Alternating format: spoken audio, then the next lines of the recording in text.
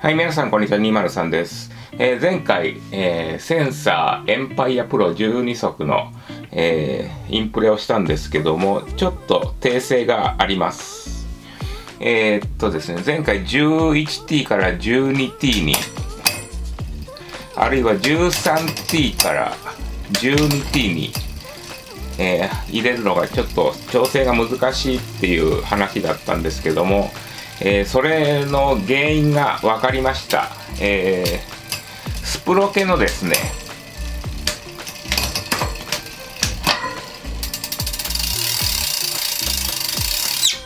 えー、ここのスプロケのロックリングですね。ここ今黒いのになってるんですけど前回は、えー、こちらですね。こちらの、えー、パープルのものを使ってました、え実はですねこれがですね、えいわゆるシマノのこのスプロケをはめる工具だとちょっとはまりにくかったんですよね。でそれでまあ無理やり力入れてつけてたんですけどもなんでこれロックリング2つついてるのかなと思ったんですけど黒い方がこちらのこの工具にぴったり合うというか要は島の用のロックリングが、えー、黒い方だったんですね。なんで、えーちょっとつけるロックリングを間違えていたっていうことになります。で、それを訂正させていただきました。で、えー、っと、ロックリングが、まあ、島の用のやつをつけることによって、えー、っと、まあ、ここの、なんていうんですかね、隙間みたいのがきっちりこう、収まることによって、えー、全てのこのギアの間隔が均等になりました。ということで、えー、っと、12T だけちょっとギアがするみたいなことを言ってたんですけども実際はこれで治ったことによって 12T でも、えー、すらずにきっちりこう変速することができるようになりました。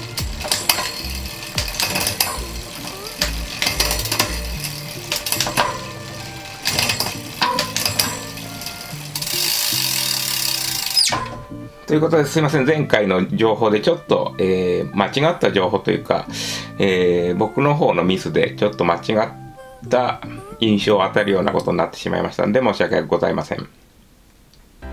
で、えー、これだけだと、えちょっとあの情報としては少なすぎるんで今回あの、え実装する前にちょっとこの今のターマック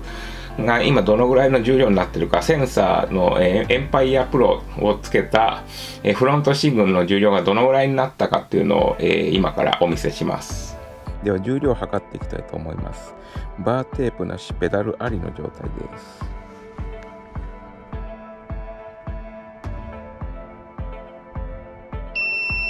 5.88キロですね。結構軽いです。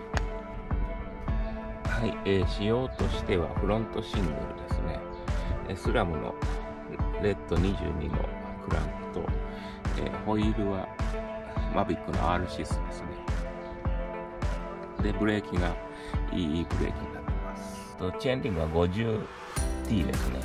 ハンドルがカーボンでジャイアンツのコンタクト SA バーレバーですが、ここまで押し込むことによって多段で変速することができます。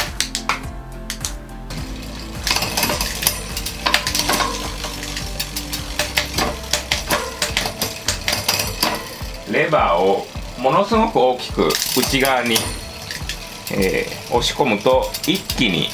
多段で、えー、変速することができます。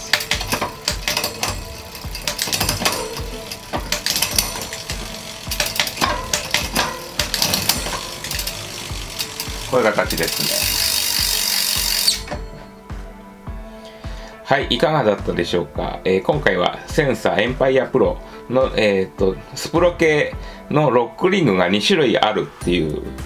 ことでちょっと前回の動画の訂正をさせていただきました。今後もこういった間違いがないようにもう少し正確にレビューしていきたいと思いますのでよろしくお願いします。それではまた。